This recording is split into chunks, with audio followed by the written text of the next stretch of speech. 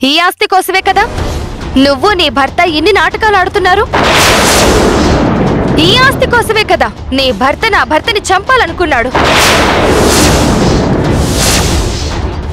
నీ పేరున ఉన్న ఆస్తి మొత్తం నా భర్త నీకిచ్చిరమ్మన్నాడు తీసుకో!